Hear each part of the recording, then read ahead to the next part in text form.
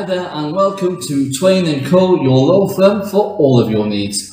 I'm one of the senior partners here and normally um, we would have a session with all of our new interns in our boardroom and we'd set out some of the tasks that we wanted you to achieve in your first six months with us. Um, but unfortunately, due to COVID, we can't meet each other personally and we'll be in contact with each other through Zoom um, throughout this time.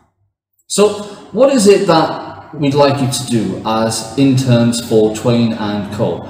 Well, you're actually going to be gathering evidence to put the age of exploration on trial.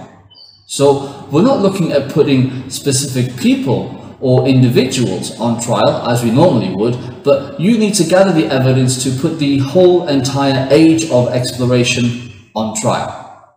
So what sort of skills do you need to practice and apply in order to be an effective lawyer and also to perform well in this task? Well, the first skill you need is research skills.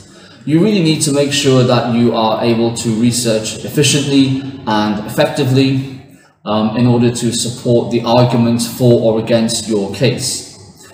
Not only do you need to know how to research, you also need to know how to annotate the information that you are uh, receiving, either from the internet or the articles or from the opposing side as part of their defense or prosecution.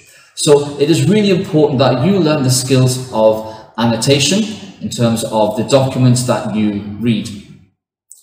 The other important skill is obviously critical thinking. You need to know how to construct your arguments um, effectively, to support them with well-supported evidence, um, and to justify the decisions and the recommendations that you make.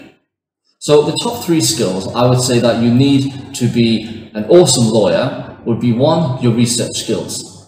Two, you need your ability to think critically when you read and therefore your annotation of key documents is very important.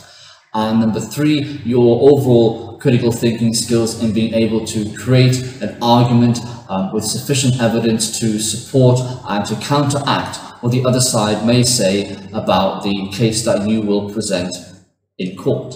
So I leave it with you to do further research on research skills, how to annotate, and how to construct an argument.